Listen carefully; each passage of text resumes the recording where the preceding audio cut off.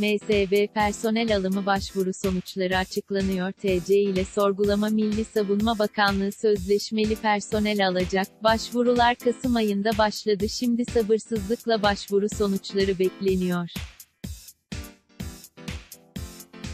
MSB planlanan takvimde sonuçların 21 Ocak'tan sonra açıklanacağını belirtmişti fakat 10 gün geçmesine rağmen hala bir duyuru yok.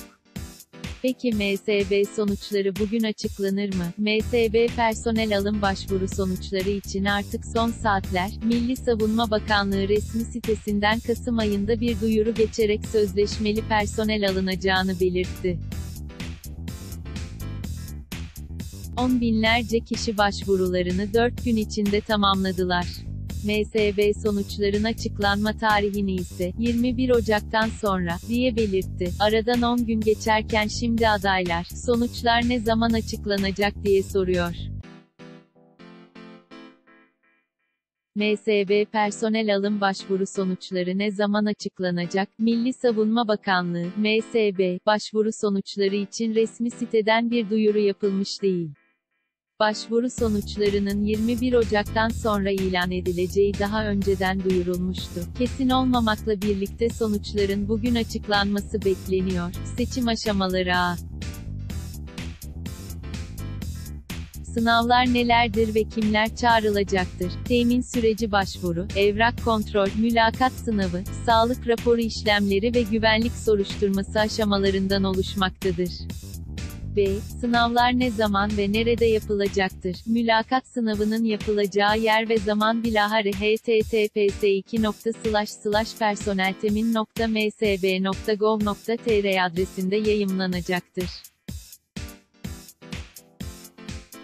C. Sınavlara gelirken yanınızda neler getireceksiniz? Başvurusu uygun görülerek sınavlara çağrılan adaylar aşağıda belirtilen belgeleri, aşağıda belirtilen sıraya uygun, birinci madde üstte, olacak şekilde, mavi plastik dosyaya takılı olarak, mülakat aşamasında, beraberinde getireceklerdir. Belgelerin asılları dosyaya takılmayacak, adayların yanlarında olacaktır. Kendilerine yapılan çağrı neticesinde mülakata gelen, aşağıdaki evrakları teslim eden ve şartları uyan, belge eksiği olmayan adaylar asıl başvuru yapmış sayılacaklardır.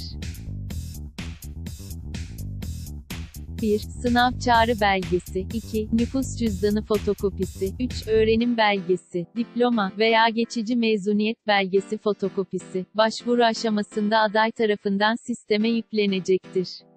Ayrıca başvuru esnasında e-Devlet uygulaması üzerinden alınan verilere göre görüntülenen mezuniyet bilgilerinde hata veya eksiklik olması durumunda gerekli düzeltmelerin ilgili kurumlar tarafından yapılması, YÖK ve benzeri adaylar tarafından sağlanacaktır.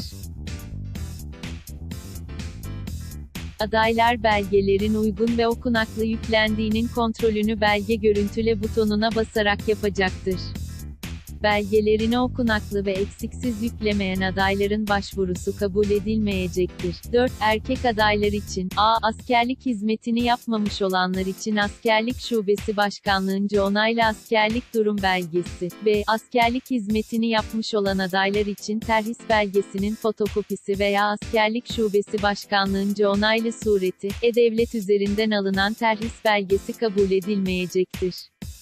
C. Askerlikten muaf olan adaylar için askerlikten muaf olduğuna dair belgenin fotokopisi veya askerlik şubesi başkanlığınca onaylı sureti. 5. Güvenlik soruşturması ve arşiv araştırması formu. 2 sayfa olan form, adaylar tarafından doldurma talimatına uygun olarak bilgisayarda büyük harfle doldurulacak. Arkalı önlü olacak şekilde 2, 2, suret çıktısı alınacaktır.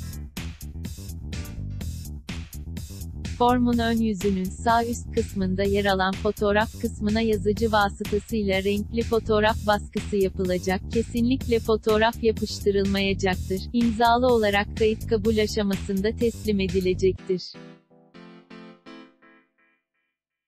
dosyaya takılmayacak, diğer evraklardan ayrı olarak teslim edilecektir. Uygun olmayan formlar kabul edilmeyecektir. 6. Adli sicil veya adli sicil arşiv kaydı olanların ilgili mahkeme kararları, c. Sınavlar nasıl uygulanacaktır? Başvurusunu yapan adaylar KPSS 03 puan türü esas alınarak, en yüksek puandan başlanıp en düşük puana doğru sıralanacak. Her bir unvan için mülakat sınavına çağrılacak aday sayısı, alım yapılacak kadro sayısının 10 katı kadar olacaktır.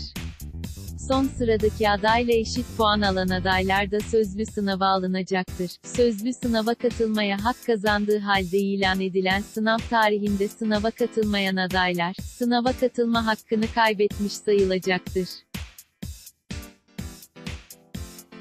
Mülakat sınavında asgari geçer not 100 puan üzerinden 70'tir.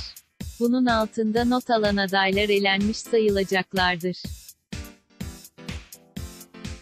Değerlendirme nasıl yapılacaktır? 1. Adayların nihai değerlendirmesi mülakat sınavı başarı puanına göre yapılacaktır.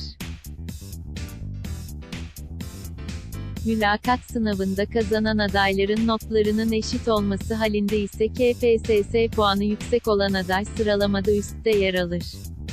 KPSS puanlarının da eşit olması halinde diploma tarihi itibariyle önce mezun olmuş olana, bunun da aynı olması halinde yaşı büyük olana, öncelik tanınır. 2. Her unvan için asil ve yedek liste ayrı ayrı belirlenecektir.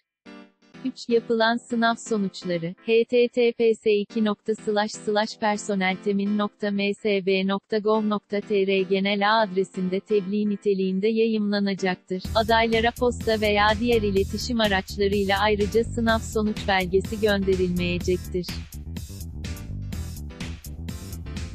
4. Gerçeğe aykırı belge verenler ya da beyanda bulunanlar hakkında yasal işlem yapılacaktır. Bu durumda olanların yerleştirmeleri yapılsa dahi sözleşmeleri iptal edilecektir ve idare tarafından kendilerine bir bedel ödenmiş ise bu bedel yasal faizi ile birlikte tazmin edilecektir.